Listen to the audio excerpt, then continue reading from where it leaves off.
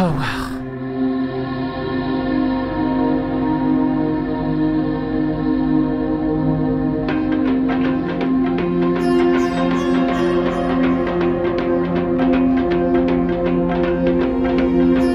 Full tank of juice, and I reckon I'm ready to take on India.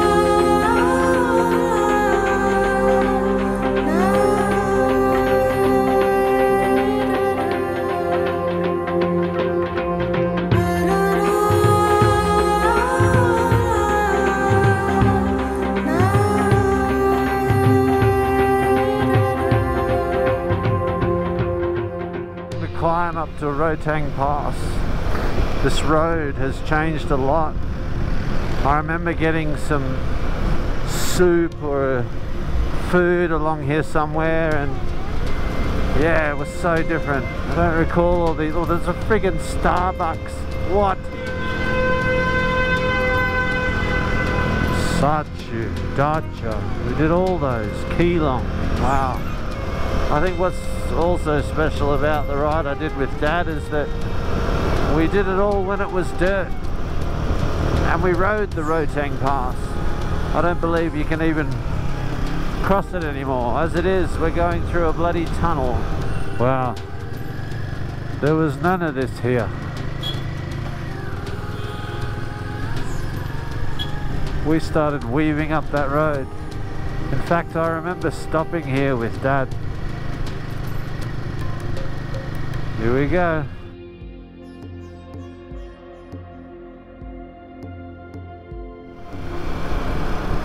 It's good to be back finally.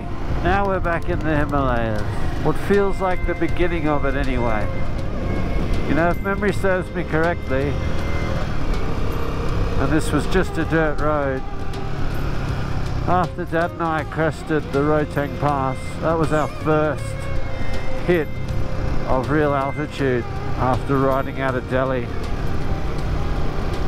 And then we stopped at this one of these little villages and, and they were nothing then, they were tiny.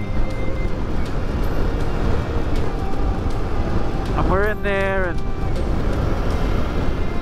I remember Dad had a cigarette, we both had a shot of whiskey and it was just it was bad news all of it anyway dad he wanted to stay there. I wanted to press on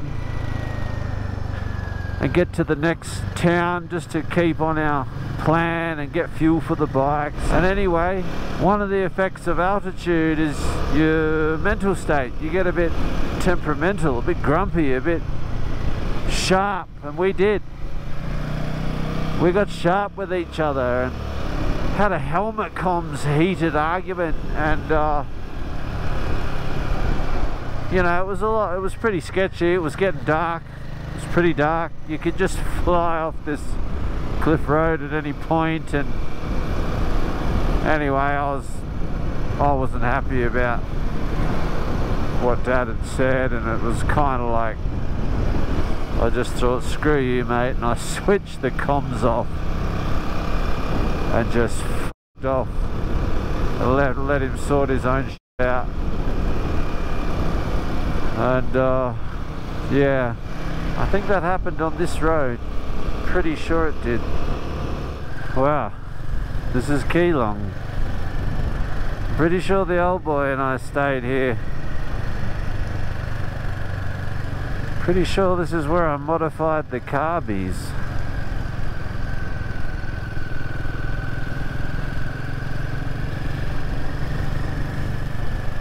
in one of these one of these joints Padma Lodge I reckon this will do eh Man, I hope these showers work. It's too cold up here for the hot showers not to be working.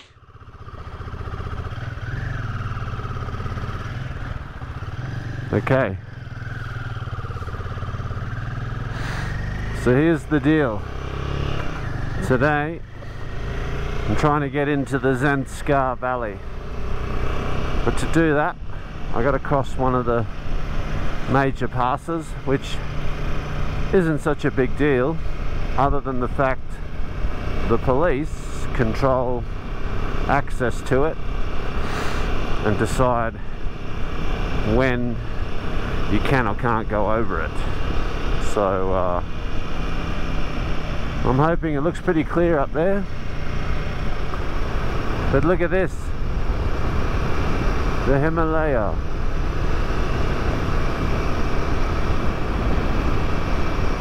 Really is like no place on earth.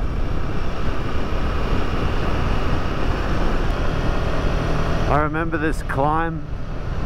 I pulled up here somewhere, somewhere further up this Saskatchewan Pass and did the carby mod to dad's bike.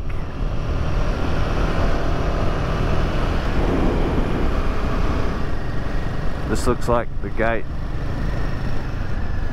It's another dude on a moto. And now, the news I didn't really want to hear.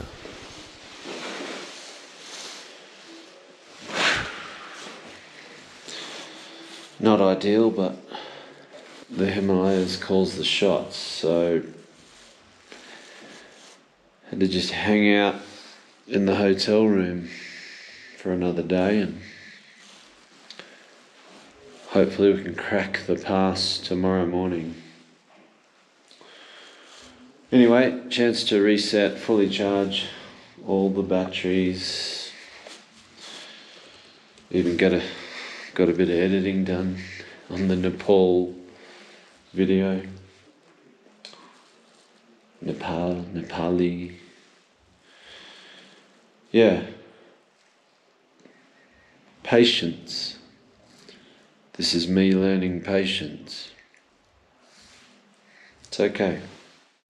I've always believed that if you travel through life with the best intentions, the world will move for you.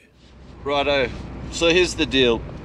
My friends I met yesterday at the checkpoint have informed me that even though they're opening it today, chances are they're not going to let motorcycles go through because it's still so treacherous, slippery, whatever. I think they're just looking after the tourists. Anyway, my new friend Arvin has basically organized with his good friend Vijay to put our bikes on the back of the. Is this a Mahindra? Yes, Mahindra. Back of the Mahindra. Mahindra, and we're getting escorted over the pass. You're like a rescue worker for the police here, aren't you? You go and get pull people off the mountain, VJ. something like that. sort of, something like that. Yeah, I think we're in good hands. So we just got to get through this police checkpoint. It's as simple as that. So if we can get through, um, turns out Arvin's heading the same direction as me. More excited. I'm just waiting to cross over this checkpost, unload our bikes, and just ride in the snow at Shinkula. Just get out of here. Yeah. we must conquer Shinkula Pass today. Fingers crossed. Sir Enfield loaded into the back of the Mahindra. Look at this, right? All the way down the mountain. All these truck drivers. And they're not even going the way we are. They're going straight to Leh on the main route. They've been camped there for days, far out, just sleeping in their trucks, cooking in their trucks. They dropped the rope. We have been released onto the mountain. We've been waiting for Two days. whole days, Yes, two days. Ah, good. So we are going to Shinkula. This pass is actually similar to Baralacha, and uh, this pass is like uh, from wet region to dry region. So in this Lahaul Valley, there is a lot of moisture. Once you cross this pass, uh, it's a dry area. So basically, what happens because of the moisture in this area, it has lot of snow deposit. That's why these uh, passes are critical. So these are the gateway to Ladakh and Zanskar. So once you cross over it, then there is all the dry area. Even the cold does not bite you much. You just have to layer up properly, and that's it.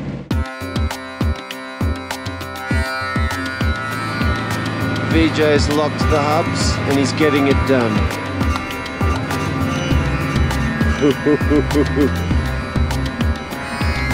and the Mahindra, the skinny Mahindra is just getting through the rocks.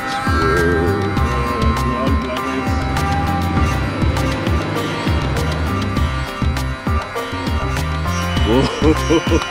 Sketchy. Sketchy.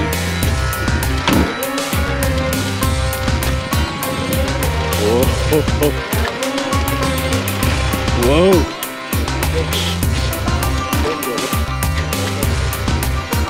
That is so slippery. And the truck slipped over to the side there.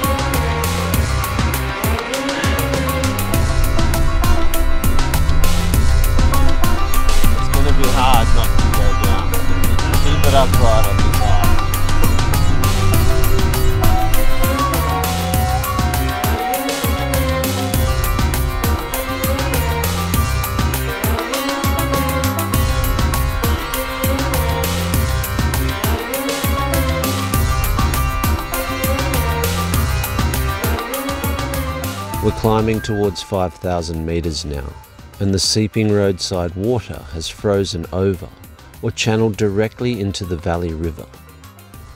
And while there's no way we'd have been able to ride the black ice on this climb, I'm adamant in unloading my bike and conquering the mighty Shinkula Pass on two wheels. Just got Sir Enfield off the ute at 5,000 meters. He's doing a lot easier than I am. He just fired up ready for duty. So we're on boys. We're on. Boys and girls, I should say. Arvin, seriously, without your uh, contacts and your knowledge in making this happen, I would not be on the mountain right now. So, cheers, brother. I really appreciate it, and no doubt I'll see you on the road, huh? For sure. VJ, you really are a mountain man. You're the you are the rescue guy, and I. We just could not have done this without you. You got me through the checkpoint. I know it's not going to be easy, so I'll just take my time and chip away at it. Namaste. Thank you. Oh man. This is going to be interesting. Black ice, snow, more black ice. Whoa! There's some holes. Okay. Just sit down. Be ready for anything. Whoa.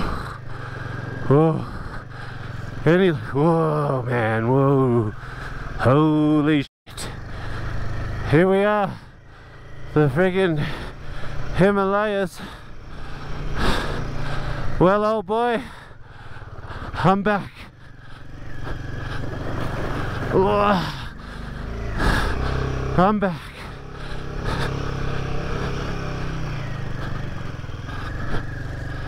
Epic. Epic. Uh-oh. Uh-oh.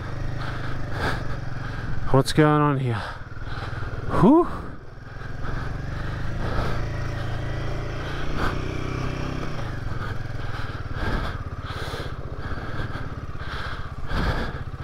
Decent downhill.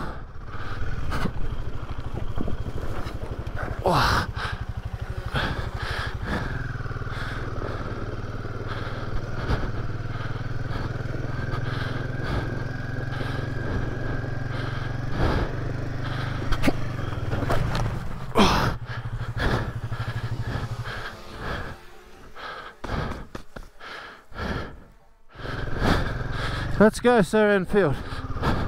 This is at 5,000 meters. Going to be a struggle. Just got to maintain a bit of momentum and plow this. But the front wheel is just surfing on it. Okay,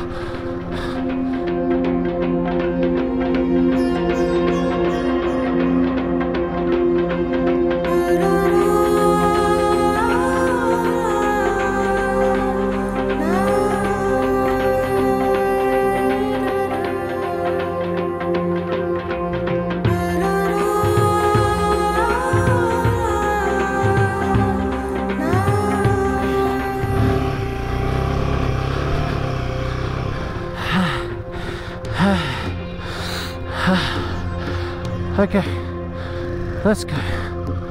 Let's go. Wow.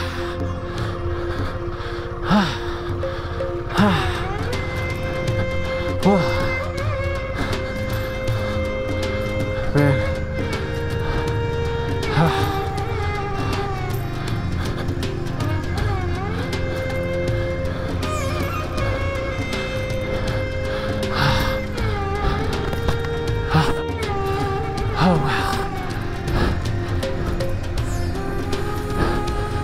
So bright.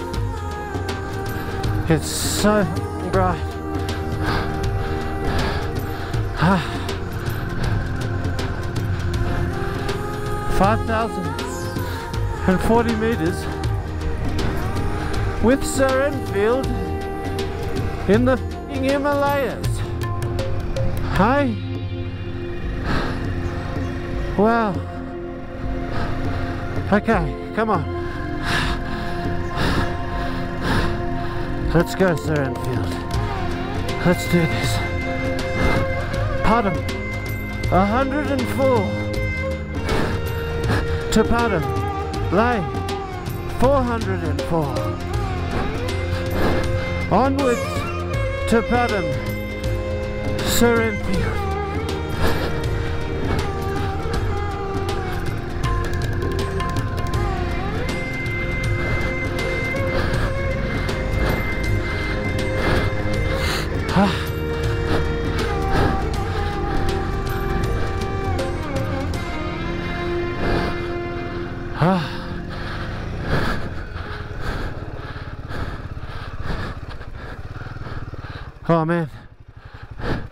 Gateway. We did it. We're doing it. Gateway to Zanskar Valley. Shinkula welcomes you to the top. 5,054 meters.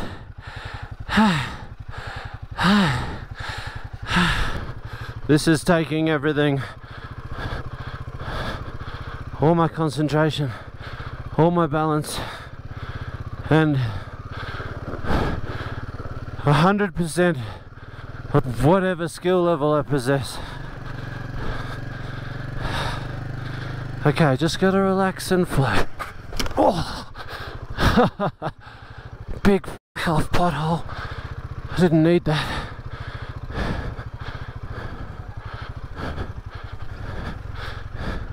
You know, now I know what Dad was going through on Baralacha Pass in the mud. For me, it wasn't bad. You can just ride the mud. But this frozen valley with snow on the black ice, uphill, downhill, it's next level, man. Next level. Okay, just slow and flow. Bit of rear brake. Oh, it's so bright. These potholes are f***ed. I really don't need them. A part of this. Ah, let's go. Come on, let's go. Slow and flow. I got spare brake pads, so I'm just going to cook these all the way down this hill. I couldn't give a f- Wow. Man.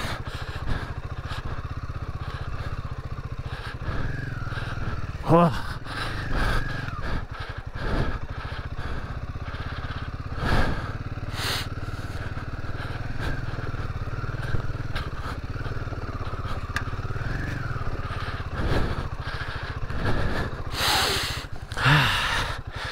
Gotta rest. I gotta rest. Ah.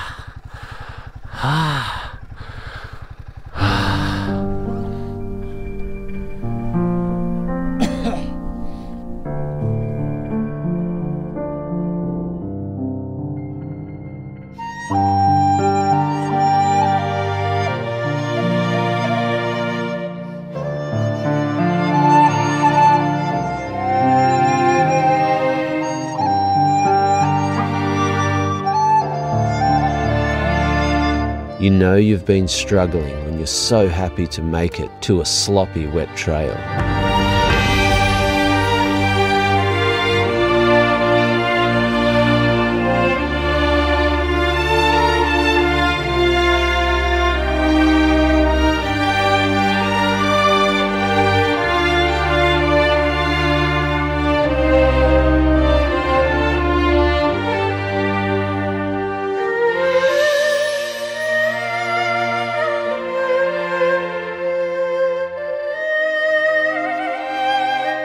Think we all wonder what it really means to be alive.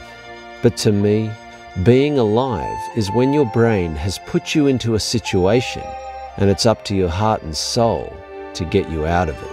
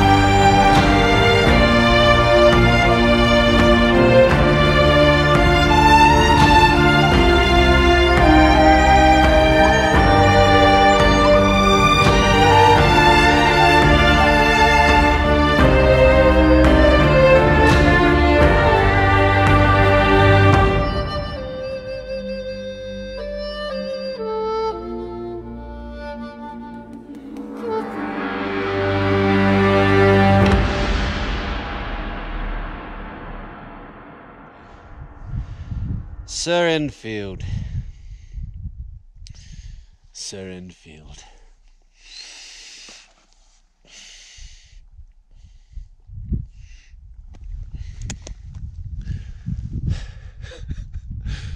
I don't think poor old Arvin's getting off that mountain in a hurry. He'll be in a world of hurt right now. You know, we're all trying to bring our vision to life and it's happened, you know. And it's taught me don't be in a rush to suffer. be patient. It was the right thing that happened, you know. I feel good.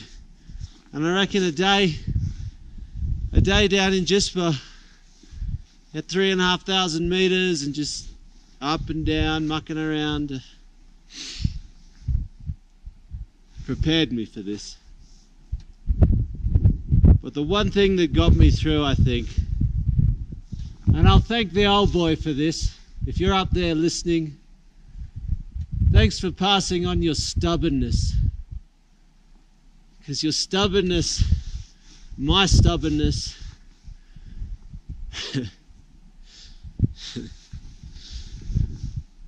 it's got me through a lot of shit. It's got me to the Himalayas.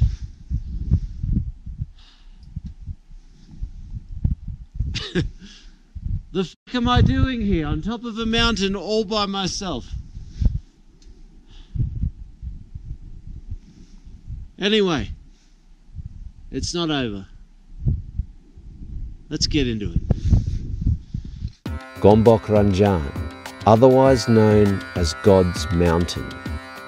The imposing solitary peak in the remote Kargyak Valley is one of the most sacred sites of Tibetan culture.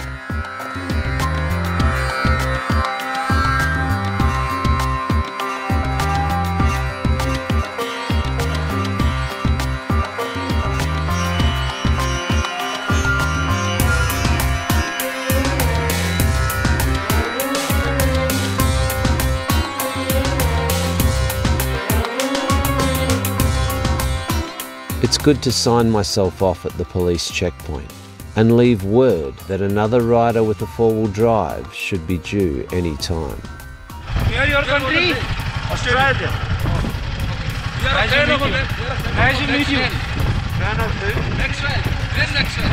Who's Maxwell? Glenn Maxwell, in the cricket player. Ah, cricket players. You boys love the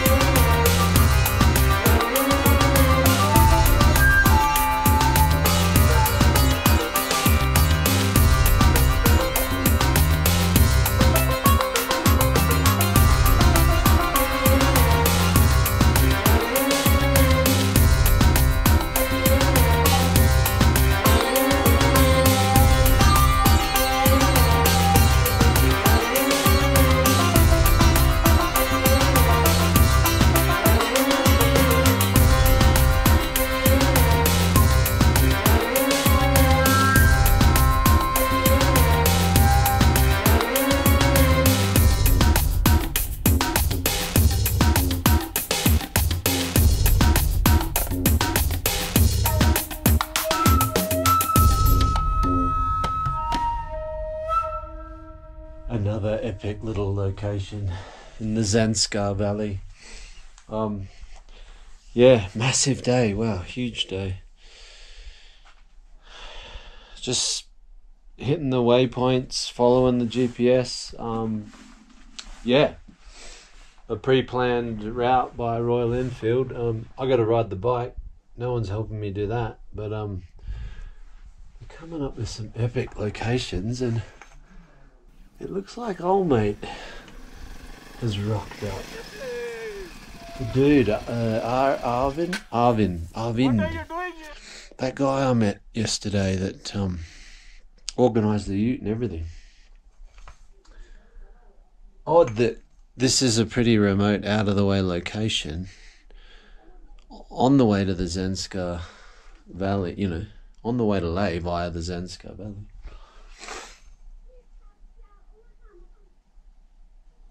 I'm a bit suspicious. He's on a new Himalayan as well. It's almost like a bit of a spy. anyway, it's good good to have a bit of company out here. Someone another another rider. I'll go I'll go track him down soon. But yeah, got to recharge everything. Drone. You made it. How was your day on the mountain? I was so, I thought Crazy. I thought there's no way you're getting off there. Did the truck get down as well? Ah, yes. Yeah. He came down, he had food, and then he went back. So yeah, job done. No, I really appreciate you organising that, dude. Thank you so Um, much. yeah, look at this joint. Is this can't be a regular stay? I thought I was just the only one here. Then you show up. anyway, let's This- grab dinner uh, later. Yes, sure. We'll catch up. Yeah. I doubt they serve beer here, but we'll have a chai, huh? Yes. All right, Uh, you like namkeen chai? The local Zanskari chai. mate. Whatever. Yeah, Talk- talk tell me- them to get you. talk me through it. yes, namkeen chai. All right, we'll catch up later. Yes, yeah. Awesome.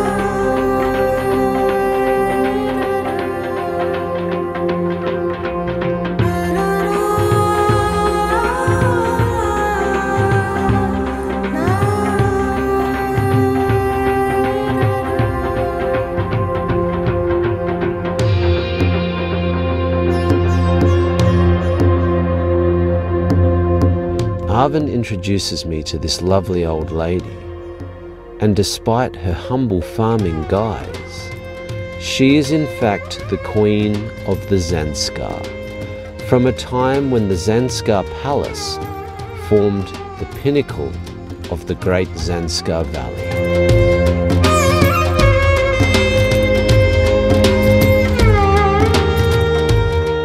There's not many people riding on this new 450. I didn't think anything of it. Just staying at the same hotel. You say you have a plan, come with us.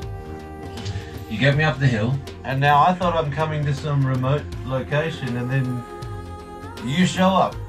I'm not supposed to tell you this, but uh, I mean, since you figured out already that I'm riding 450 Himalayan, I Yeah. can help you out and all of that. So I'm here to help you and sort you out. You don't come any under any problem or anything. Your permits are sorted out. I'm the one who planned your itinerary along with the Royal Enfield team. Really? So I knew exactly where you are going to stay and how you are going to, which route you are going to take. So all the feed in the GPS is also after discussing with the team. And uh, a single foreigner cannot get a permit. This is all remote areas and this all border sharing with China. Because without me, you can't get into those uh, internal trails and the beautiful locations of Changthang. I'm pretty excited to ride with you for your rest of journey. Oh, it's, it's nice to meet you, man. But I'll I'll teach you how to ride slow.